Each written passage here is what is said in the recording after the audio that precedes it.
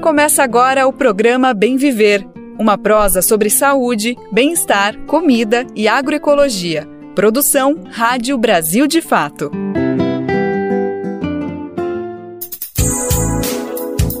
E hoje é quarta-feira, dia 31 de julho de 2024, último dia do mês. Momento de dizer tchau pra Julie, bem-vindo a agosto, mas não sem antes mais uma edição do Bem Viver que tá chegando por aqui, uma produção do Brasil de fato. Você bem sabe, na nossa prosa a gente põe em debate todos os assuntos fundamentais para pensar uma sociedade mais justa e igualitária para todo mundo. Por isso, nosso foco por aqui é falar de agroecologia, saúde, alimentação, cultura e, é claro, sem deixar de lado todos os assuntos importantes do noticiário diário. A gente fala assim sobre política, economia e também sobre política internacional. Seguimos atualizando sobre a situação sobre as eleições da Venezuela. Mas antes de te me apresentar, meu nome é Lucas Weber, eu sigo contigo na próxima uma hora, não sem antes saber os destaques do programa de hoje. Os rappers Gog e El Ninho lançam uma parceria inédita hoje. A gente conversou com os dois e vamos conferir um novo trabalho deles em primeira mão chamado Sankofa. Pesquisadores cearenses analisam como o debate de gênero e raça vão afetar as eleições municipais deste ano. Eleições na Venezuela, seguimos atualizando a repercussão da vitória de Nicolás Maduro. Mostra de Cinema Negro de Londrina recebe inscrições. Municipalização dos hospitais federais do Rio de Janeiro é debate no Bem Viver de hoje.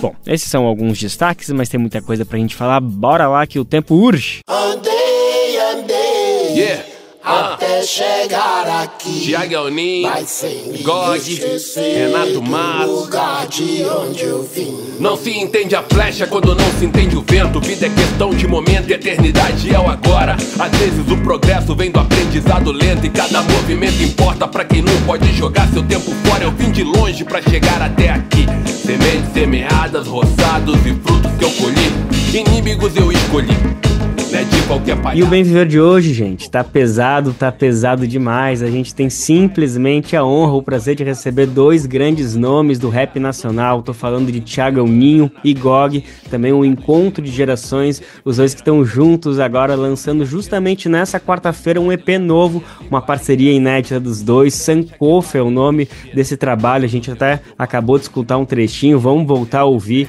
esse EP que conta com a participação de Renato Matos, Monique Brito e também o deputado estadual no Paraná, Renato Freitas, uma grande liderança aí pelo Partido dos Trabalhadores, vem fazendo muitas falas contundentes, importantes e está aparecendo agora aí também. Primeiro deixa eu apresentar os dois, Gog que alegria imensa falar contigo, amigo. Você já apareceu aqui outras vezes no Brasil de fato, mas é a primeira vez que eu tô falando contigo. Muito obrigado por separar um tempinho para falar com a gente, viu, amigo? Salve, irmão. Salve a todos aí, todas, todos. É, é, muito bom estar aqui no Brasil de fato, é uma casa nossa. É, a gente fica muito feliz, tanto eu como o Thiago, como todos os participantes dessa, dessa desse rebento, é, por estar lado a lado com essa grande parceria que é o Brasil de fato. Então, muito obrigado. E a gente vai trocar uma ideia, porque a ideia é o que liga. É isso, a ideia é que liga, a satisfação é nossa, a casa é nossa. Obrigado por se sentir em casa, é isso que a gente tenta fazer com que aconteça de fato. Então, é uma alegria imensa saber que está acontecendo isso de verdade. E Tiago Ninho, também, primeira vez que eu estou falando contigo, uma alegria imensa. Já acompanhei o teu trabalho de outras vezes, estou empolgadíssimo com esse Sankofa aí que tu está lançando, né? Propondo essa parceria. Então, obrigado também por separar um tempinho para falar com a gente, viu, amigo? Eu que agradeço, oportunidade maravilhosa de estar trocando essa ideia aí. É a primeira vez que a gente está junto aqui, mas já estou me sentindo muito bem recebido e chegando na casa que um amigo já esteve. Então, se o Gog passou por aqui antes e foi bem recebido, então é uma casa que com certeza a gente já chega tendo um carinho já. Pronto, pronto. Estabelecido aí todos os convites, aí portas sempre abertas escancaradas para vocês dois. A gente quer vocês sempre presentes com a gente para justamente isso, né? Dialogar, dialogar com o povo, trazer essas ideias tão importantes que vocês manifestam por meio da arte, da música, mas que o povo tá querendo ouvir, querendo refletir. Então a gente tenta só fazer essa ponte aí, essa comunicação sempre fortalecida. Gente, eu vou fazer aqui uma pergunta e vocês fiquem bem abertos para ir respondendo, se complementando, puxando a fala, assim, eu acho que é por aí que a gente vai. Eu acho que ia ser bacana começar justamente por esse nome, que é super forte, super importante, é atual e ao mesmo tempo ancestral. Eu acho que Sankofa é justamente, acaba sendo até uma metalinguagem, né? Porque Sankofa é justamente, vocês abrem o EP trazendo essa explicação, que é até uma fala do deputado do Renato Freitas, falando que esse olhar para trás para caminhar para frente. E então me parece que trazer o nome Sankofa Sankofa nesse momento acaba dialogando nesse sentido, acaba sendo uma metalinguagem, né? De você trazer uma palavra que ela acaba explicitando justamente o que o momento exige. Mas explica um pouquinho qual que foi essa decisão de trazer Sankofa nesse momento para demarcar essa parceria tão bacana, tão bonita que vocês estão proporcionando. Massa. É, pô, a ideia do nome do Sankofa, ele partiu muito do lugar dessa discussão do tempo, né, que vem a ciência vem bem colocando isso, pautando isso agora. O tempo ele corre para frente, ele corre para trás ele faz os dois movimentos ao mesmo tempo, como é que o tempo existe mesmo. E isso acabou puxando muito nos, nos contatos que eu e o Gog a gente tem, as trocas de ideia que a gente tem, porque eu acho que o primeiro ponto que chamaria atenção num trabalho que tem eu e o Gog seriam as questões geracionais, é, de serem duas gerações do rap.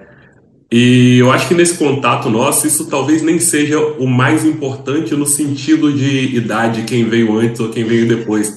É, às vezes eu penso muito que, eu, que o Gog ele é ele só é jovem há mais tempo do que eu.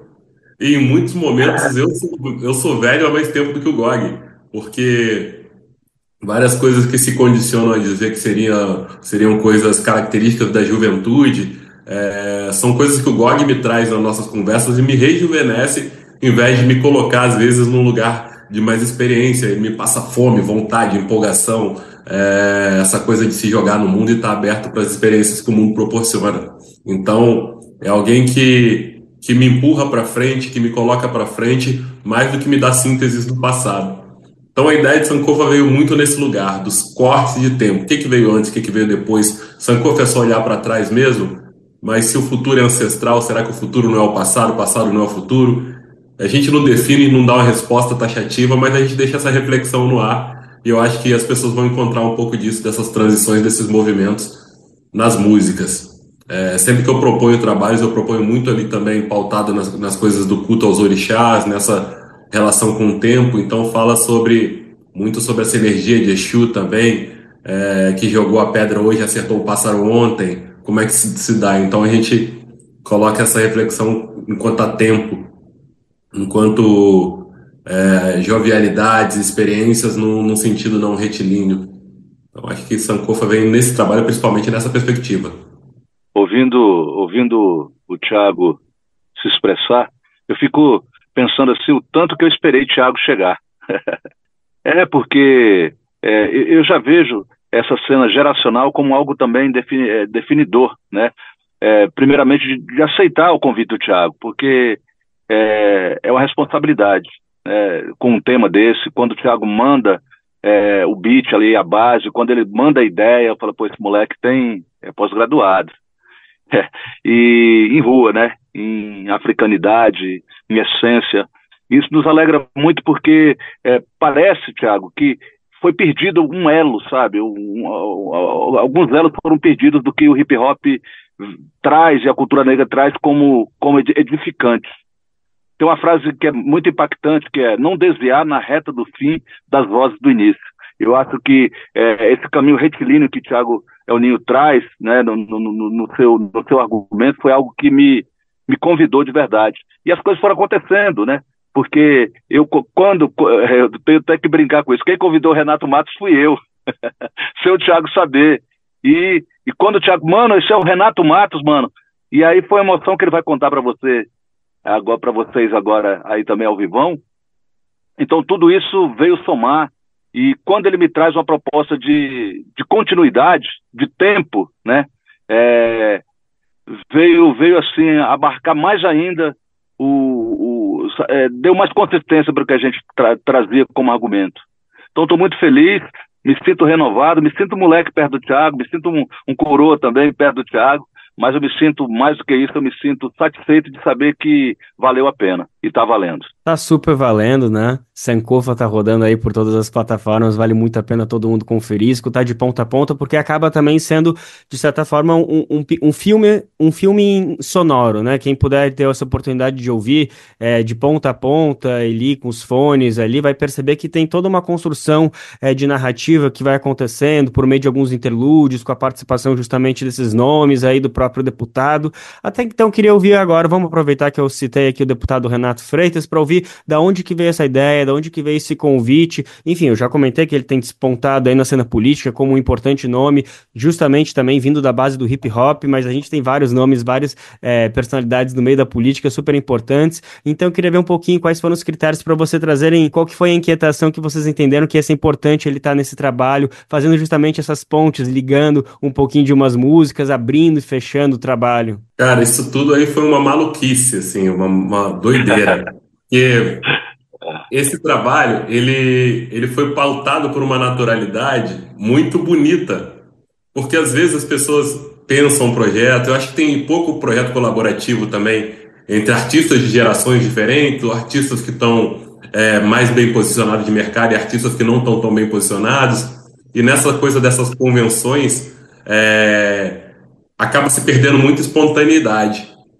Então, quando, quando eu e o Gog, a gente, a gente se conheceu durante a pandemia, participando de uma live que terceiros acharam que era, que era interessante colocar Thiago Alninho e Gog na mesma, na mesma live e, e realmente acertaram, porque dali surgiu uma amizade, surgiu uma troca de ideia frequente sobre outras coisas, que depois virou fazer música. Começou com uma música, depois de uma música ficou parecendo que era pouco, talvez precisasse de mais músicas para conseguir ter um retrato dessa dessa amizade que, que nasceu ali, dessas trocas de ideia, que são ligações de 10 minutos, de 15 minutos, que, que, pretendem ser de 10, 15 minutos, mas que às vezes duram uma hora e meia, chega a bater duas horas ali de bate-papo.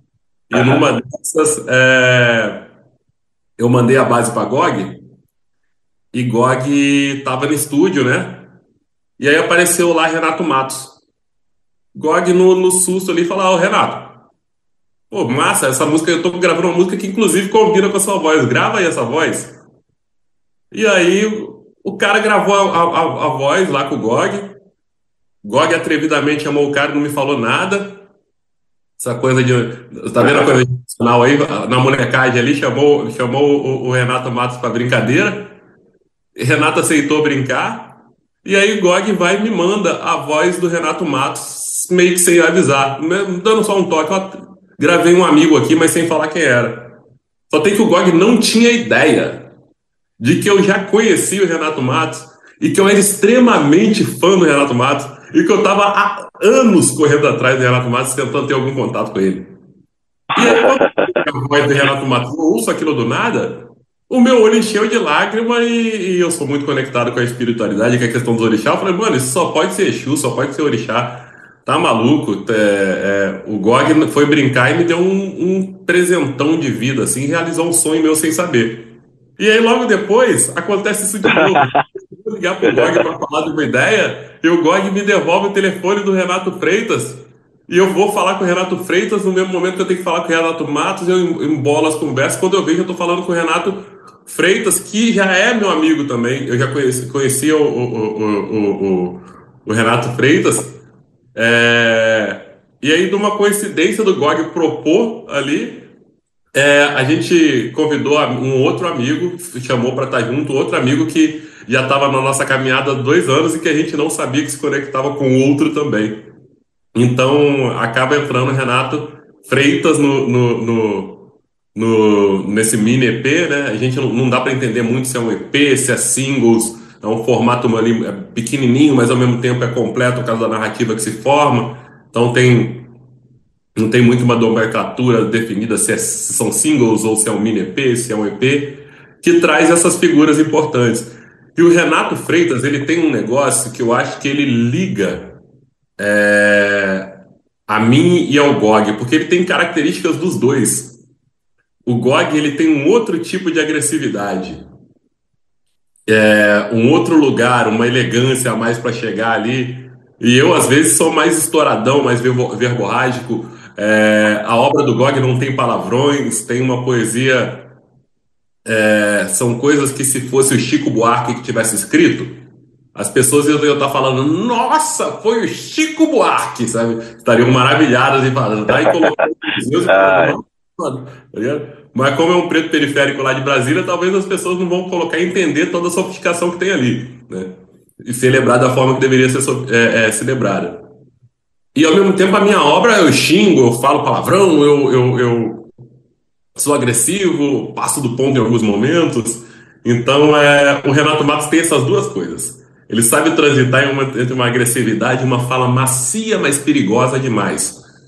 Então, eu acho que essa sim, então, o Gog com certeza vai ter mais coisa para falar sobre, mas eu acho que surge daí, surge do acaso, que a gente discute se é acaso, na medida de que, que tem tanta unidade, tem tanta coesão, é, são elementos necessários para fazer um tipo de alimento específico para a alma de quem luta ali, para quem tem vontade de, de contestar, para quem tem vontade de se posicionar, e que vai acontecendo de uma forma muito natural, mas já é um trabalho que particularmente eu estou muito orgulhoso. Tem que estar tá mesmo, foi realmente um encontro. Então, só para as pessoas que estão nos acompanhando, ninguém se confundir, ninguém trocar as bolas aqui, a gente está falando então do Renato Matos, que é artista plástico, cantor, multiartista aí, foi convidado então pelo GOG, mas também já tinha essa parceria com o Thiago, e também tem o Renato Freitas, ele que é deputado estadual pelo Paraná, também tem uma ligação com o hip hop, também é cantor, artista, mas enfim, tem se dedicado especialmente à política, e além dos dois tem aí a cantora baiana Monique Brito, todo mundo junto nesse EP Sankofa, que também pode ser lido como um single, aí como o Thiago estava explicando pra gente, Thiago Ninho e Gog, os dois protagonistas desse trabalho maravilhoso que está rodando aí agora nas plataformas.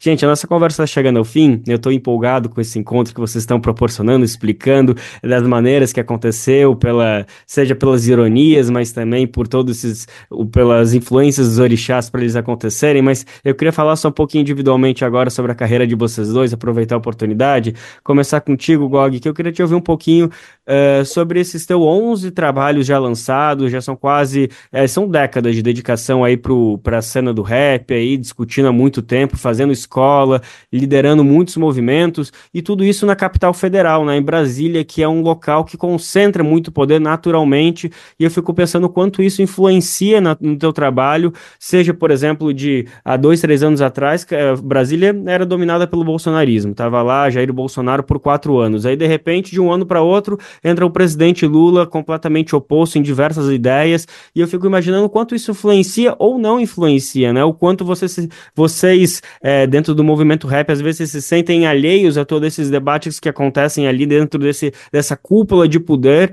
e, e fico pensando o quanto que as tuas manifestações, as tuas manifestações acabam dialogando com isso, ou acabam tentando se, é, se distanciar disso. Queria te ouvir um pouquinho ao longo de todo esse teu trabalho que você tem, como que você lida com essas é, instâncias de poder tão fortes que, ao mesmo tempo, não necessariamente dialogam com a população que está em volta da cidade. Sim, muito importante a gente tratar esse assunto, porque existem encruzilhadas políticas também, né? Então, a, a, todo, a todo momento nós estamos é, à mercê dessas, é, desses debates, dessas, dessas questões. É, Brasília é uma, é uma cidade criada para não ter tensão social. As periferias de Brasília, elas são afastadas do centro, mas elas são afastadas delas também. Então, quem chora na Ceilândia não é ouvido no Recanto das Emas, nem lá em Planaltina. São cidades separadas por quase 50 quilômetros, né? É, isso tem muito a dizer. Não vai haver, ao meu entender, uma queda de Brasília, como houve uma queda da Bastilha porque estrategicamente está tudo muito longe, eles, eles nos abatem muito. Nós temos, por outro lado, aqui é, a maior renda per capita do país, mas também a maior diferença de IDH também. Quem mora no Lago Sul, é, ele está 96% à frente de quem está é, morando, por exemplo, no Santa Luzia ou então, então no Sol Nascente. E, e Brasília são essas contradições, são esses tempos no mesmo tempo, né? Sabe? Então tudo é, é, é, tudo isso que a gente traduz em dia a dia para trazer, para mostrar Sankofa. Estão acontecendo aos nossos olhos, é, mas também acontecem é, a partir do momento que a gente entende como leitura que nós não somos mais só quadros na parede. O movimento negro, a negritude, nós não somos só mais dandaras, zumbis, a Cotirenes e outros, né, mestres como Luiz Gama, mas nós somos Thiago Elninho, nós somos Gog, nós somos Mano Brown, nós somos ex-câmbio negro. Então, os nossos quadros hoje são perambulantes. E aí vem a responsabilidade de um trabalho, da, do quilate do trabalho de, de Tiago Elninho, é trazer, trazer a tradução em dia a dia, apertar a tecla SAP e ser a 10639 ambulante, independente do que a política formal faz. Então, eu vou, você vai. Se o estudo é o escudo, então é, é tudo estudo. E é a nossa, é a nossa letra, é a nossa ideia, é, é a nossa preocupação. Eu eu, eu, há muito tempo não me defino como rapper. Eu sou pescador de gente que lançou né, 11 trabalhos solos, mais de 300 músicas. Então, na tentativa de trazer mais gente, e eu vou pegar no pé do Thiago um pouquinho. Thiago, sou mais perigoso das letras que você, mano. Porque os caras acreditam em mim, entendeu? E pensam assim, pô, esse coroa aí, esse cara, ele tá, pô, não tem palavrão, não tem palavrão, daqui a pouco você roubou a mente dos caras. Então, eu sou, eu sou perigoso, Thiago. É o poeta do rap nacional, o mais perigoso de todos, sem dúvida alguma.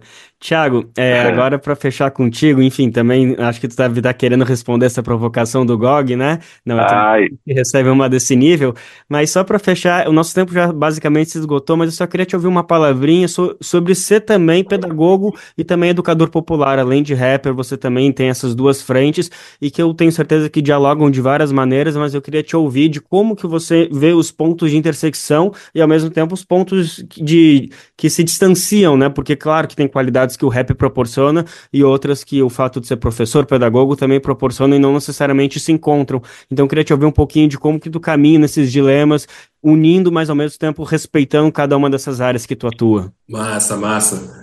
É, às vezes as pessoas é, se convencem de que ser hip hop é só praticar um dos quatro elementos, mas é, ou só fazer rap, ou só ser DJ, ou só é, dançar, e é mais que isso. O hip hop ele é quase como se fosse uma cultura, um estilo de vida, mas também um espírito ali, né? São uma série de valores que você traz para o seu dia a dia e caminha com ele independente do que você faça. É, então, a minha ideia, eu te, entendo que praticar o fazer artístico, além de ser uma profissão, ele pode ser também algo que você faz para potencializar outros tipos de atividade que você tem. E no meu caso, mais do que qualquer coisa, eu sou um educador. Eu me defino como um educador que tem a música como difusora de ideias e a produção como captadora de recursos. Então, fazer música para mim é só uma extensão do que eu estou fazendo dentro de uma escola, dentro do que, do que eu estou fazendo no espaço de educação é, escolar ou não escolar. Cada vez que eu lanço um trabalho, cada vez que eu lanço uma música, um EP, eu tento fazer disso uma extensão é, de algum projeto escolar que vá para dentro de, de, algum espaço e eu fale e destrinche a temática daquilo junto com os alunos, junto com os outros educadores que estão lá.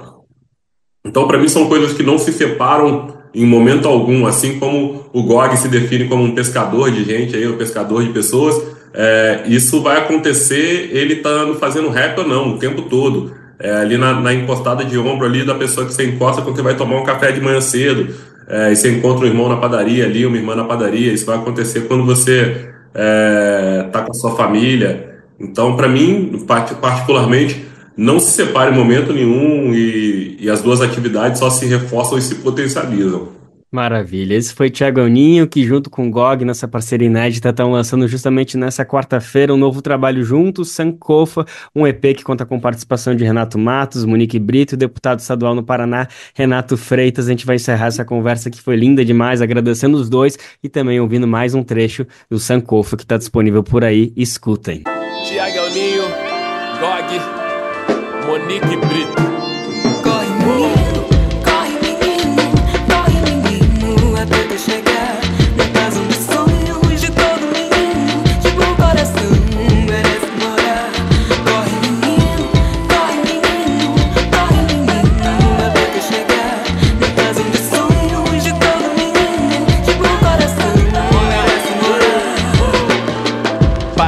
Da minha alma eu vou viver de sonhos. Talvez por isso ultimamente eu não Programa Bem Viver. Sua edição diária sobre saúde, bem-estar, comida e agroecologia.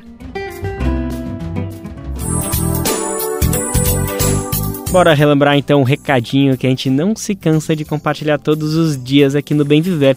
Sabia que dá para retransmitir de graça o nosso programa aí na sua rádio comunitária, regional, educativa, enfim, onde você estiver, o Bem Viver vai até você por meio do nosso e-mail. É só se cadastrar que você recebe diariamente o nosso programa em primeira mão, com antecedência, para justamente veicular ele aí na sua iniciativa, na sua rádio. Vai ser uma alegria imensa saber que ele está chegando por aí.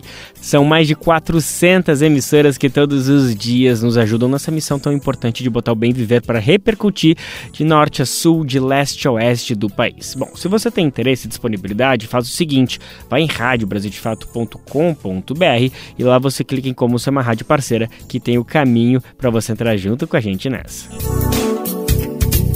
Bom, vamos atualizar então sobre a vitória de Nicolás Maduro. Vamos falar mais sobre as eleições na Venezuela. Ontem, o presidente Lula, pela primeira vez, se manifestou sobre o processo eleitoral em entrevista à TV Centro-América do Mato Grosso. O presidente disse que não vê nada de anormal até agora. Não tem nada de grave, não tem nada assustador. Eu vejo a imprensa brasileira tratando como se fosse a Terceira Guerra Mundial. Não tem nada de anormal. Teve uma eleição Teve uma pessoa que disse que teve 51%, teve outra pessoa que teve 40 e pouco por cento, sabe? Um concorda, outro não. Entra na justiça, a justiça faz. Lula também cobrou a divulgação das atas da votação para pôr ponto final nesse debate. Olha, que tiver apresentado as atas e for consagrada que a ata é verdadeira, sabe, todos nós temos a obrigação de reconhecer o resultado eleitoral da Venezuela há uma proposta que está sendo feita de que Brasil, México e Colômbia assinassem uma nota conjunta. Eu acho que não é necessário muita coisa, não, é necessário pelo seguinte: o presidente Maduro sabe, ele sabe perfeitamente bem, que quanto mais transparência houver, mais chance ele terá de ter tranquilidade para governar a Venezuela. Porque nós, nós, eu enquanto cidadão, sabe, do planeta Terra, enquanto cidadão brasileiro, enquanto presidente, eu acho que é preciso acabar com a ingerência externa nos outros países. Eu acho que a, a Venezuela tem o direito, sabe, de construir o seu modelo de crescimento e desenvolvimento sem que haja bloqueio. Sabe? Um bloqueio que mata Cuba há 70 anos, um bloqueio que penaliza o Irã, um bloqueio que penaliza a Venezuela, tem que parar com isso. Sabe? Cada um constrói o seu processo democrático, cada um tem o seu processo eleitoral. Para entender melhor a situação como um todo, a gente vai ouvir agora o nosso coordenador de jornalismo internacional, Lucas Stanislau. Ele esteve no Central do Brasil, como você sabe, nosso programa de parceria entre o Brasil de Fato e a TVT vai ao ar de segunda a sexta-feira, sempre a partir da uma hora da tarde, também pela internet. Bom, Lucas Stanislau conversou com a apresentadora Luana Ibelli justamente sobre como anda esse processo eleitoral, sobre as atualizações, sobre tudo que a gente tem dúvida e a gente vai entender agora na explicação que ele concedeu. Isso aí. Bom, Lucas, a gente acabou de ver no giro de notícias que existe toda uma polêmica em torno das atas de votação. Então, para começar, eu queria que você explicasse para a gente como que é o sistema eleitoral lá na Venezuela e o que está acontecendo agora. Pois é, Luana, é importante a gente entender que o sistema eleitoral venezuelano tem algumas diferenças né, com o brasileiro. Né? É, é, a Venezuela utiliza a urna eletrônica como agente, mas ela também tem um sistema de contraprova que é impresso. Então, quando você realiza o seu voto ali numa urna, numa telinha até touchscreen, né? Você escolhe a fotinha do candidato ali, a urna emite um comprovante impresso que você deposita também numa urna física, né? Em papel.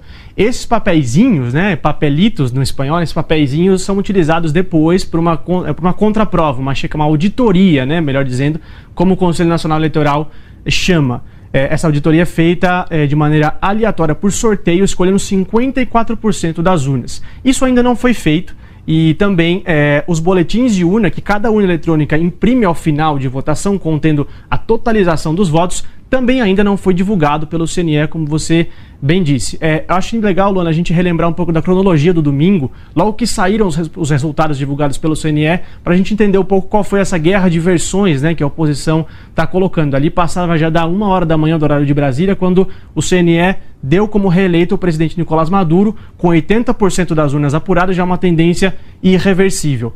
É, o Maduro foi a público, deu o discurso de vitória em frente a apoiadores ali na sede do governo e logo em sequência do fim do discurso do Maduro, a oposição se manifestou dizendo que tinha outros resultados, que essas atas, né, que a, a, a urna eletrônica teria, teria imprimido nos locais de votação que a oposição teve acesso davam outros resultados. Não especificou muito bem a quantidade de atas que teria, mas disse que, te, que, que era outro resultado e não reconhece o resultado do CNE.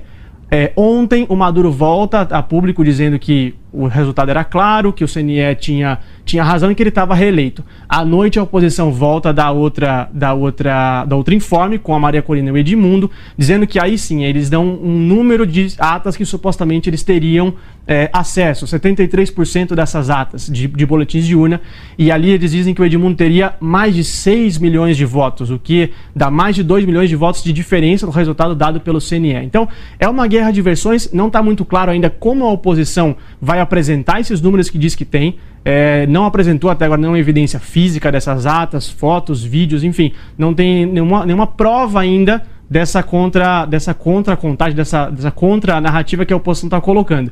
É, a gente precisa ficar de olho para ver como é que a oposição vai provar o que está dizendo, né? Agora falando em oposição, Lucas, está é, tá tendo uma série de manifestações aí convocadas, né, por essa oposição que questiona o resultado eleitoral e não é a primeira vez que isso acontece por lá, né? Não é, Luana. O cenário está muito parecido com dois momentos específicos da história recente da Venezuela e aí acho que, tem, a gente tem que voltar 11 anos na linha do tempo, em 2013 que foi a última eleição presidencial que esse setor extremista da oposição participou. 2018, que foi a última presidencial antes da desse ano, a, a, a oposição perdão, boicotou essa votação. Então, em 2013, eles participam com o candidato Henrique Capriles. E ali, Henrique Capriles perde justamente para Nicolás Maduro a primeira eleição de Maduro, que Maduro participou, e ali como herdeiro do Chaves, né, essa coisa é, é, de passagem de bastão. Capriles perde a eleição por uma margem mínima de votos e desconhece o resultado, não, não, não reconhece a autenticidade desses números e convoca a população para ir às ruas protestar. Mais ou menos um cenário muito parecido com o que a gente vê hoje, essa oposição não reconhecendo e chamando para as ruas. Um ano depois, em 2014, a gente tem o que um fenômeno social que na Venezuela é chamado de guarimbas, que são protestos violentos dessa oposição, convocados para essa, oposição. O Capriles, inclusive, depois vai se arrepender de ter convocado. Ele diz publicamente: me arrependo de ter convocado o povo para ir às ruas, porque o que a gente vê em 2014 é uma série de protestos violentos que atingem sedes de, partido de esquerda, órgãos públicos, né, prédios públicos ali, é, é, escritórios locais do CNE, do Conselho Eleitoral, escritórios do Ministério Público, tem alvos muito específicos, né, essas manifestações, que vão resultar em mortos e feridos. É, o cenário volta a se repetir em 2017, é, quando Maria Corina também já era líder da oposição. Um cenário muito parecido também que deixou vários, várias pessoas mortas e feridas por violência, inclusive dos opositores que estavam nas ruas. Então o cenário está muito parecido com dois episódios da história venezuelana recente.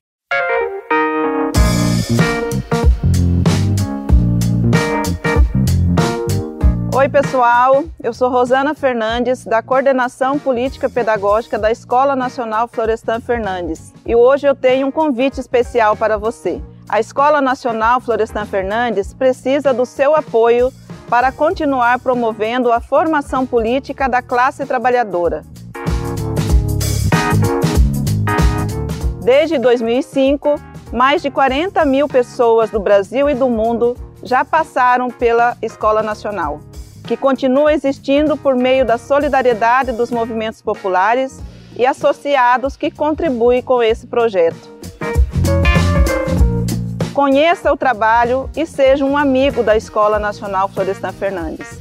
Acesse www.amigosenff.org.br e saiba mais.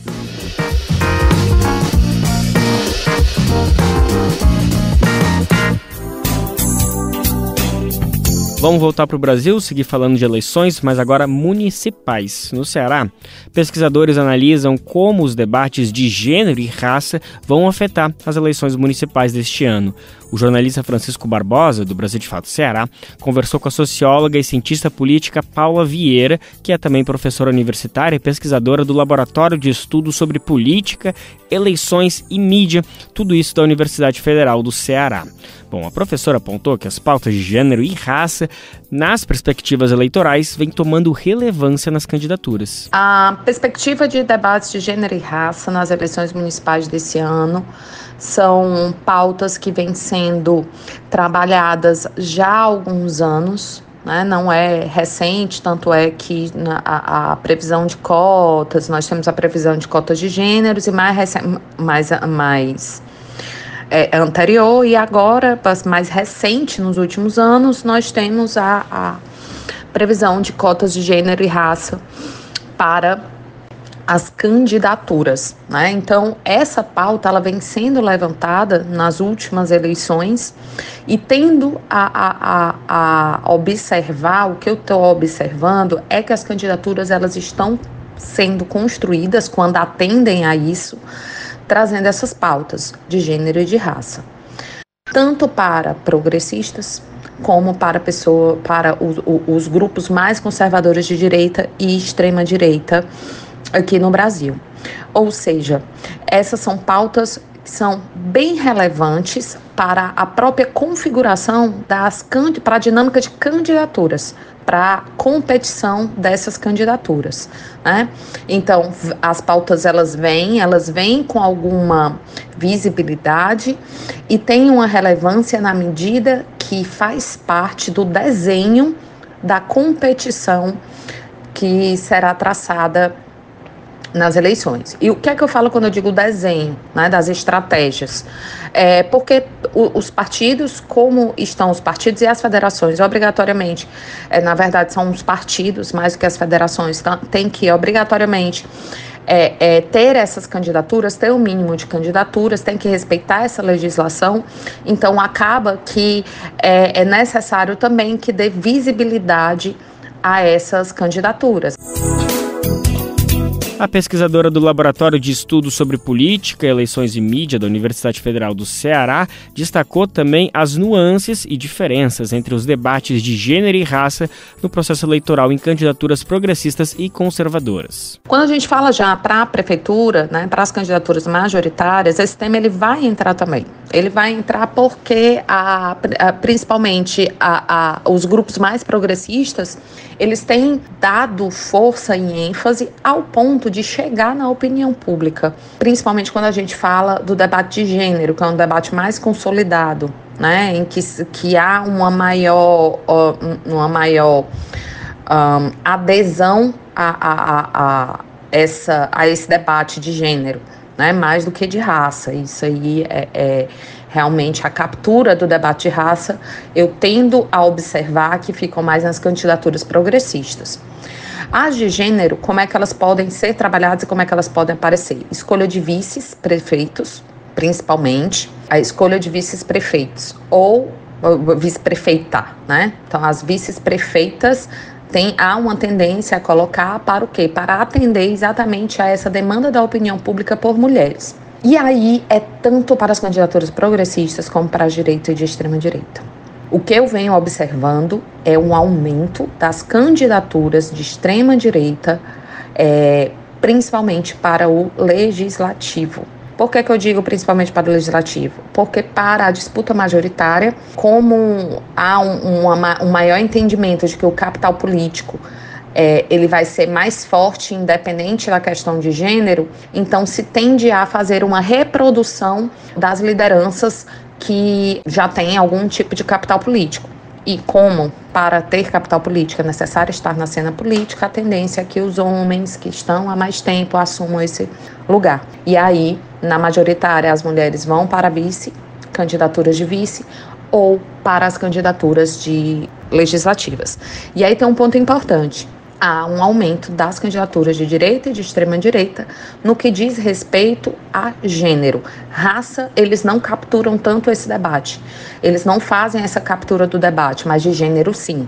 Né? Temos aí a defesa do primeiro damismo nessa perspectiva mais é, de assistência, do cuidado, à frente, à frente do cuidado, numa disputa pelo que se entende de direitos humanos, como por exemplo é o caso da Michelle Bolsonaro, quando a gente pensa numa liderança que é nacional de gênero e que está ganhando espaço, Damares, enfim, e que vem se reproduzindo local, com mais mulheres que estão a, na, nas igrejas evangélicas e estão candidatas, que são mais conservadoras e estão candidatas, estão ligadas a uma religiosidade, a esse conservadorismo vindo do religioso. Então, em termos de gênero, a direita e a extrema-direita vão trazer esse tema para mostrar que tem representantes, para mostrar que estão diante do debate e que estão é, respondendo a essa demanda, mas já fazendo essa, essa distinção entre o que é as mulheres conservadoras de direita e extrema-direita e a validação dessas candidaturas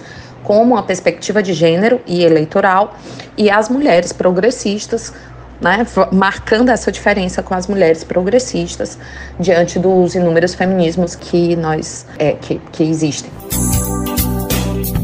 Um tema também para ter atenção são as violências políticas de gênero, que infelizmente ainda são uma realidade no país. A Defensora Pública do Estado do Ceará assinou o Pacto para a Prevenção à Violência Política de Gênero, que visa garantir a segurança e a participação igualitária entre homens e mulheres nas eleições do Estado. O programa é resultado de uma parceria entre diversos órgãos e entidades, como, por exemplo, o Tribunal Regional Eleitoral, a Defensoria Pública do Ceará, a Secretaria de Mulheres do Estado, além do Ministério Público, OAB, entre outros. Bom, vamos para o Paraná agora. Fala sobre arte e cultura. Olha só que bacana, gente. A segunda mostra de cinema negro de Londrina está com inscrições abertas. As obras para a mostra podem ser inscritas em quatro categorias, sendo cinema negro, popular comunitário, indígena e infantil. A gente vai saber mais informações com Letícia Holanda. A Mostra de Cinema Negro de Londrina chega à segunda edição e será realizada em formato não competitivo. O objetivo é proporcionar o acesso e divulgação de filmes brasileiros inspirados na narrativa do cinema popular e do cinema negro. Além disso, tem a ideia de propor debates em torno da cultura cinematográfica antirracista e comunitária. As obras podem ser inseridas em quatro linhas de abordagem: cinema negro, cinema popular comunitário, cinema indígena e cinema infantil. As abordagens dialogam com produções fora do eixo de cinema para exploração comercial.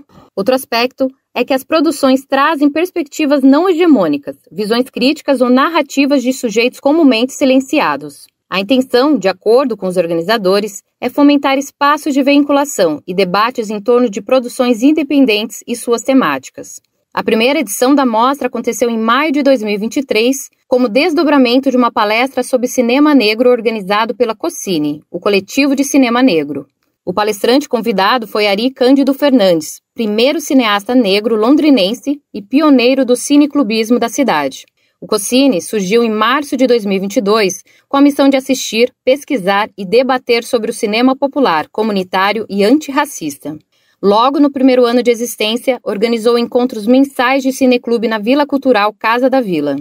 Em 2023, veio o curso de Introdução à Produção Cinematográfica, com foco em documentário. E foi nesse contexto que ocorreu a primeira edição da Mostra de Cinema Negro. Neste ano, o Costine realiza a segunda edição da Oficina de Cinema Popular, agora com foco em cinema ficcional, e a segunda edição da Mostra de Cinema Negro de Londrina. As inscrições online continuam até o dia 10 de agosto. O formulário está disponível na versão online desta reportagem no site do Brasil de Fato. Da Rádio Brasil de Fato, com informações da redação no Paraná, locução Letícia Holanda. A ABJD é a Associação Brasileira de Juristas pela Democracia. Defende o Estado democrático de direito, a presunção de inocência, o devido processo legal e o acesso à justiça. A ABJD é a única organização do Brasil que reúne todas as categorias de juristas do estudante à juíza, da servidora do sistema de justiça ao defensor público. Juristas democráticos são essenciais para evitar retrocessos e avançar nos direitos e garantias. Faça parte da ABJD. Entre no site e associe-se a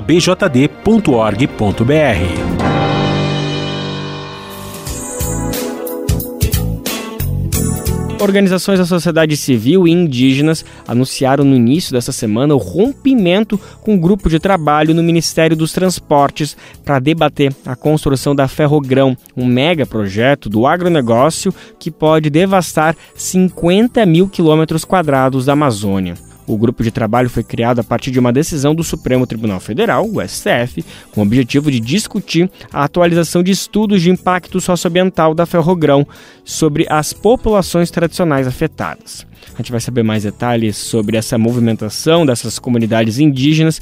Quem está aqui para contar para a gente é Douglas Matos. Organizações da sociedade civil e indígenas anunciaram o rompimento do GT, o grupo de trabalho no Ministério dos Transportes, para debater a construção da Ferrogrão, um megaprojeto do agronegócio brasileiro que pode devastar 50 mil quilômetros quadrados de Amazônia. Numa carta entregue à pasta do governo federal, o Instituto Cabu, a Rede Xingu Mais, a Aliança Ferrogrão Não e o PSOL decidiram se retirar do grupo e denunciar a falta de transparência e diálogo com as organizações da sociedade civil. O grupo de trabalho foi criado a partir de uma decisão do STF, o Supremo Tribunal Federal, com o objetivo de discutir a atualização dos estudos de impacto socioambiental da ferrogrão sobre as populações tradicionais afetadas. Mas, segundo as organizações, o que deveria ser um espaço com participação da sociedade dependeu da mobilização logística das próprias organizações e movimentos para assegurar suas presenças. E o que deveria ser um espaço de debate profundos, terminou, segundo os movimentos, sendo um ambiente secundarizado e sem ressonância nos processos de tomada de decisão. A carta afirma que as organizações foram surpreendidas na semana passada com a informação de que a ANTT, Agência Nacional de Transportes Terrestres, tinha anunciado a previsão de leilões para a construção da ferrovia para 2026. No documento, as entidades manifestam discordância e profunda preocupação pelo tratamento dado ao tema. As organizações pedem que o governo brasileiro reconheça a inconstitucionalidade do traçado da Ferrogrão e cancele o empreendimento. Abre aspas, do mesmo modo, é urgente promover a regularização fundiária, titulação de territórios quilombolas, demarcação das terras indígenas e a execução do Plano de Ação para a Prevenção e Controle do Desmatamento na Amazônia Legal na região. O texto diz ainda que projetos de infraestrutura e logística não podem seguir promovendo a destruição da Amazônia, do Cerrado e do futuro de todos. Abre aspas, nós não comemos soja, a gente não se alimenta de soja, a gente quer apenas água limpa e floresta em pé. Fecha aspas. A declaração foi feita ao Brasil de Fato por Alessandra Corap Munduruku, coordenadora da Associação Indígena Pariri. A decisão de se retirar do GT, o grupo de trabalho, demonstra a insatisfação das organizações indígenas em relação ao andamento de projetos do governo que têm impactos diretos nas populações tradicionais. Alessandra Munduruku afirmou ainda que o próprio presidente da República, Luiz Inácio Lula da Silva, é responsável pela situação por privilegiar, segundo ela, setores do agronegócio brasileiro em detrimento dos povos originários. A Ferrogrão é um mega projeto de rodovia com quase mil quilômetros que pretende ligar Sinop, no Mato Grosso, até Miritituba, no Pará, passando por Itaituba, no mesmo estado, com um custo estimado de 24 bilhões de reais. O projeto é promovido por grandes corporações produtoras de milho e soja na região que pretendem baratear a exportação dos grãos. As organizações afirmam que estudos de impacto realizados até o momento são falhos ignoram impactos sinérgicos e cumulativos e desrespeitam o referido direito à consulta dos povos e comunidades afetadas.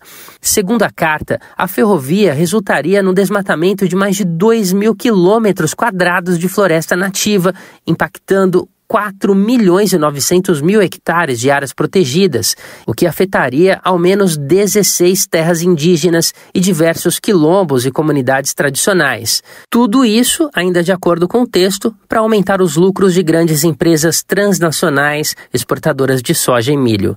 Em nota, a Agência Nacional de Transportes Terrestres informou que, de acordo com a decisão judicial de 15 de março de 2021, foi determinada a suspensão dos efeitos da Lei 13.452 de 2017 e dos processos relacionados à Ferrogrão.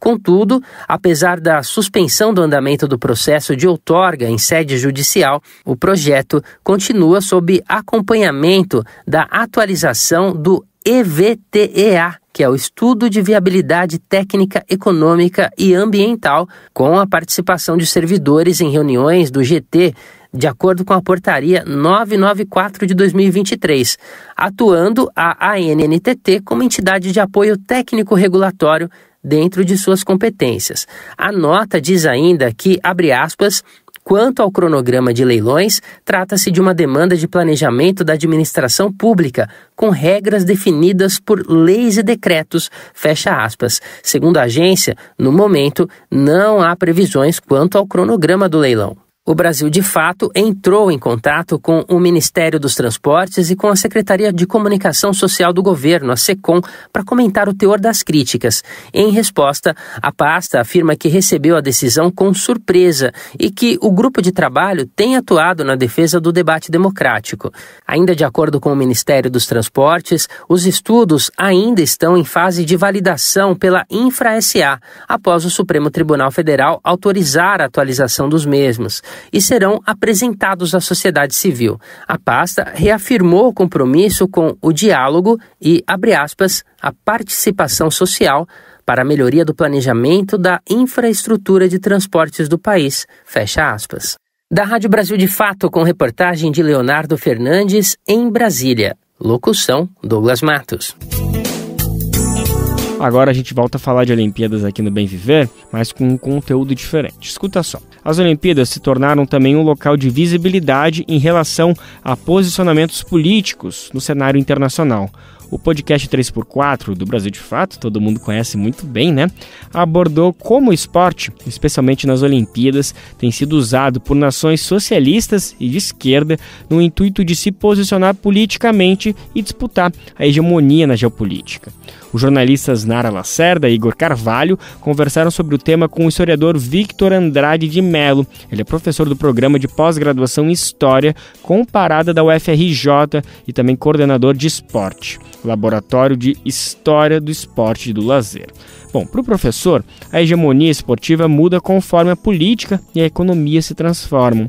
A gente vai ouvir um pouquinho a opinião do professor sobre se as Olimpíadas são usadas politicamente pelos países de uma forma geral. A resposta poderia ser simples assim: sim, e muito, e desde sempre.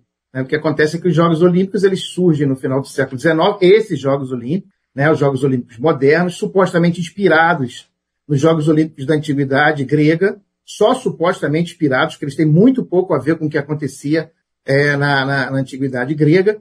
E os Jogos Olímpicos, na verdade, eles também fazem parte de um movimento de internacionalização em várias esferas. Então, entre o final do século XIX e início do século XX, a gente tem vários movimentos de busca de articulação entre países e nações. Por exemplo, a Cruz Vermelha, por exemplo, a, a busca de uma língua em comum, o Esperanto, é, por exemplo, o movimento escoteiro, por exemplo, a Internacional Socialista, né? e também, aí no âmbito esportivo, a busca da, da articulação para celebração de um, de um evento esportivo que supostamente significasse a, a união entre os povos, entre os países. Não, no espírito original, a competição não seria entre países, deveria ser entre atletas. O que ocorre é que a gente vê desde o início uma grande celebração da ideia de Estado-nação. Né? Os, os atletas competem por países, com bandeiras dos seus países, né? Assim, quando ganham, toca o hino dos países. É, mesmo que o Comitê Olímpico nem sempre reconheça o quadro de medalhas, há um enfrentamento né, é, entre países, e por isso, então, os países também, a busca de se consolidar enquanto nação, mobilizaram os Jogos Olímpicos e vários eventos esportivos, pelo menos em duas dimensões. Uma interna, né, você gera um fator de identidade nacional. Né? Então, as pessoas daquele país acabam celebrando aquele país, né, assim, quando vem o seu hino tocar, sua bandeira subir no mastro, as vitórias do seu país. Né? E da mesma medida que tem o fator interno, então, que é a, a busca de forjar uma identidade nacional, tem também a alteridade que ajuda a forjar a identidade nacional. Isso quer dizer o enfrentamento com outros países é, no cenário internacional, em muitas ocasiões, para ressaltar é, possíveis vantagens ou possíveis é, características positivas de uma determinada nação. Esse uso político sempre existiu, mas ficou muito caracterizado nos Jogos Olímpicos de Berlim, em 1936, né, quando explicitamente né, o Hitler é, utilizou os Jogos Olímpicos para difundir o seu ideário e se projetar é, no cenário mundial alguns anos antes da explosão da, da, Primeira Grande Guerra. Ele foi, o uso político dos Jogos Olímpicos do esporte foi se reconfigurando no decorrer do tempo, conforme foi mudando a própria visão de política. Né? Então, eu diria que nos dias de hoje, ele tem um uso político mais para é, questões, por exemplo, de gênero, de orientação sexual, é, de raça, né? assim, até mesmo mais do que a, a dos Estados-nação, como foi é, num passado mais recente. Falando sobre países de esquerda e Olimpíadas, lembramos logo então da União Soviética, né, gente? Porque em 1956, a União Soviética, que anteriormente tinha deixado de disputar as Olimpíadas, volta a competir os Jogos e se torna uma potência olímpica. O professor Victor Andrade trouxe na conversa também um pouco desse tema para a gente entender o contexto. Então, houve investimentos, né, assim, tanto o, o, o Bloco Socialista é, investiu profundamente, é, investimentos estatais profundos né, é, é, no esporte. Né, assim, é, houve investimento também no esporte de massa, né, no esporte como direito para o grande conjunto da população. Mas houve um forte investimento é, nas equipes de ponta, nas equipes de alta performance, para que esse enfrentamento né, no cenário internacional também pudesse ser representado como um sinal do avanço que o regime é, possibilitaria é, é, para esses países. Né? Assim, então é possível dizer que a partir de determinado momento da Guerra Fria e até o final da Guerra Fria, o campo esportivo foi um dos principais campos de embate simbólico entre os dois blocos ali que estavam é, é, é, é constituídos. Né? Assim, então, eu acho que a diferença é, significativa é que nos países socialistas foi um investimento de Estado. Né? E nos países capitalistas havia um forte investimento de Estado, mas também havia investimento é, privado. Né? Agora... Então, esse papo de que sempre, tem países que só tem investimento privado, isso não existe, uhum. nem nos Estados Unidos. Né? O Estado sempre é convocado de alguma maneira para participar desse cenário. O professor explicou também a importância do esporte na formação social dos países. Na conversa foi ressaltado o desempenho de Cuba nas Olimpíadas de uma forma sempre surpreendente, apesar do baixo potencial que o país tem de investimento financeiro.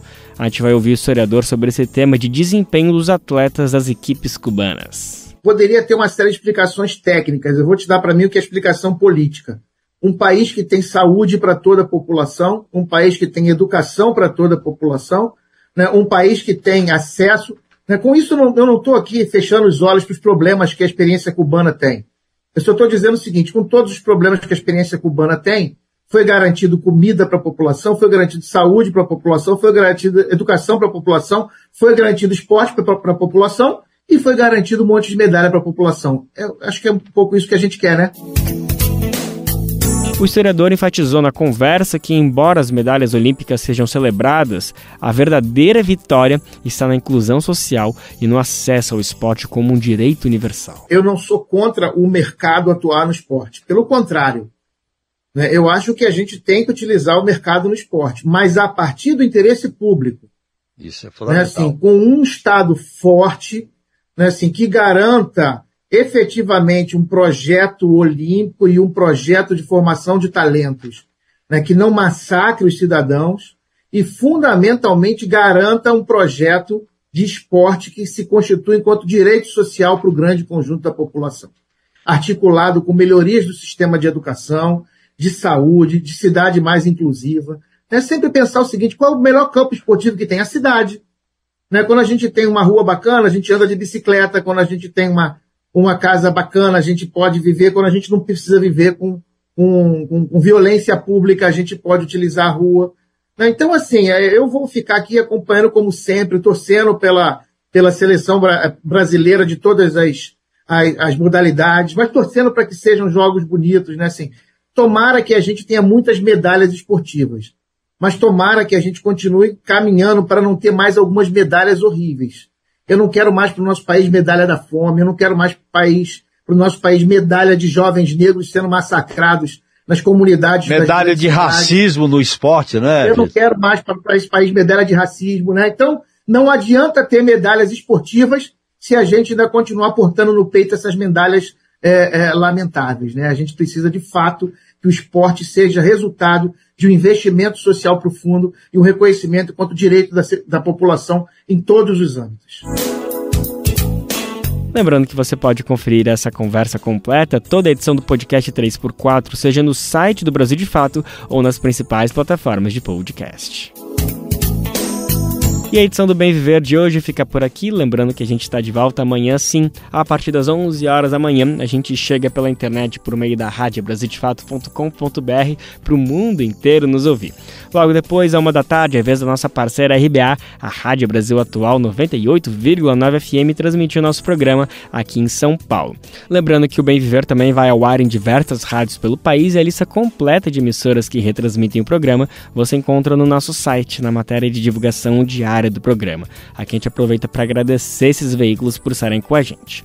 Lembrando que o Bem Viver também fica disponível como podcast no Spotify, Deezer, iTunes e Google Podcast.